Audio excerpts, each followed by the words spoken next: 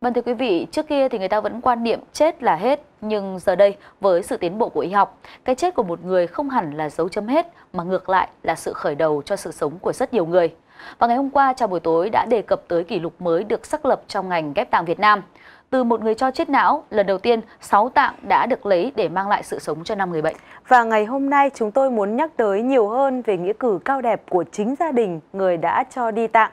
Ít ai biết rằng là trước khi tiễn biệt chồng để các bác sĩ đưa sang phòng mổ lấy tạng tại bệnh viện Việt Đức thì vợ anh đã cầm tay chồng thật lâu. Sau cái hôn vĩnh biệt của vợ thì anh được rút ống thở. Để có được các ca ghép tạng thành công này, người vợ đã phải trải qua những lúc tự đấu tranh mới đi đến quyết định hiến tạng của chồng. Khi còn sống, chồng chị anh Dương Hồng Quý luôn mong muốn được hiến tạng sau khi chết nhưng chưa đăng ký để có thể hiến tạng. Vợ anh luôn phản đối ý nguyện này của chồng. Đến khi anh bị tai biến mạch máu não, mổ ở bệnh viện Bạch Mai và hôn mê sâu, những ngày chăm anh trên giường bệnh giúp chị đồng cảm hơn với các bệnh nhân, cuối cùng chị thay đổi ý định. Thông qua Hội chữ thập đỏ Ninh Bình, chị bày tỏ nguyện vọng hiến tạng của chồng và gọi điện đến Trung tâm điều phối ghép tạng quốc gia nhờ các bác sĩ hoàn thành tâm nguyện của anh. Vào ngày 12 tháng 12 trở thành ngày không thể nào quên của chị cùng gia đình. Sau cái hôn vĩnh biệt của chị, anh được rút ống thở. Xung quanh hai vợ chồng, các y bác sĩ đứng cúi đầu một phút mặc niệm.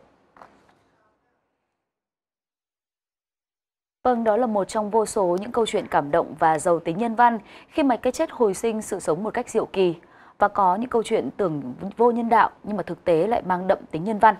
Các bác sĩ cho biết tại bệnh viện Nhi đồng 2 thành phố Hồ Chí Minh từng có trường hợp là một đôi vợ chồng đang mang thai nhưng được phát hiện là thai vô não và đứa bé sinh ra cũng không thể sống được. Thay vì bỏ thai đi như là thông thường thì vợ chồng người này đã có quyết định vô cùng táo bạo là quyết định giữ và nuôi thai phát triển bình thường cho đến ngày sinh nở. Nghe thì khó tin nhưng lý do của cặp vợ chồng này là rất nhân văn bởi sau khi sinh ra thì dù không thể sống được vì không có não nhưng nội tạng của bé thì vẫn bình thường nên anh chị quyết là hiến tạng của con để cứu những bệnh nhân đang chờ chết và thế là hai người lớn được cứu sống từ hai quả thận của đứa trẻ sơ sinh bất hạnh vừa lọt lòng.